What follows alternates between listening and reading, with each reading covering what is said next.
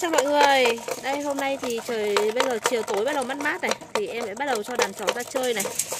Hàng ngày ấy thì ờ, dành ờ, tầm 15-20 phút ra cho chó ra chơi, Chạy nhảy cho nó khỏe, Nó phát triển khung rộng mọi người ạ. Mọi người nhìn cái đàn chó này này, Chân tay nó rất là to, dài, trường chó nhé người nhé Con kia nó bay theo luôn kìa. Đàn này là vừa đu rong vừa ấy, luôn Đàn à, bố Gitano nhập Mexico nên là mọi người hoàn toàn yên tâm về khung cộng lẫn phả hệ của đàn này ạ. Trời nắng nóng ấy. Ít khi mà em à, kích thần kinh lắm luôn ấy, Bởi vì à, sợ nó nóng ấy mọi người. Cứ phải chiều mát này thì mới dám kích một tí. Thi nhau, tranh nhau cắn luôn.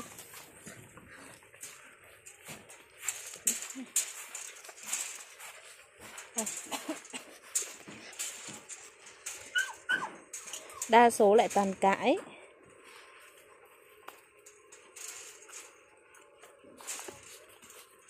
Có bé đực Bé màu đu, đu rông ánh đỏ này. Rất là mượt và đẹp. Đợt này thì không biết là có anh nào thích nuôi uh, sinh sản cái đen tuyền không?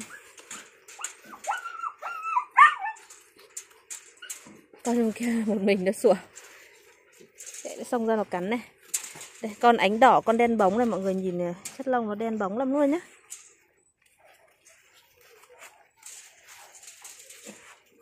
Em giật cao cao lên, có thể kéo hai tay vào. Bọn này là mình cứ càng phải khỏe, càng phải giật mạnh thì nó mới càng kích thích, nó mới càng thích cơ. Mexico nhà em thì thần kinh à, luôn à, căng nhá mọi người nhá. Không con nào là ấy luôn. Nhìn nó cắm này.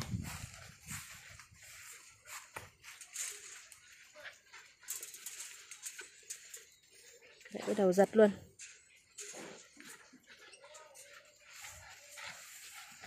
Biết rồi để giật. Thì nữa thì sẽ quay lại riêng từng con cho mọi người xem, Từng con cho dễ luôn ạ. Và bắt đầu vào mùa hè này, các anh chị nuôi chó cái dòng Mali này thì mọi người ờ, chú ý là bổ sung ờ, nước ờ, hòa, có hòa điện giải nhé để cho con chó nó uống cho nó mát người. Nó cân bằng cơ thể ấy. Và mình để nơi râm mát ạ. Chuồng thì cứ để ở mấy chỗ gốc cây á từ cho con chó nó mát. Vẫn giật không nhả này bắt đầu nóng rồi đấy. Rồi, bây giờ thì em sẽ bắt đầu, em quay riêng lại từng con cho mọi người luôn. Xin chào mọi người.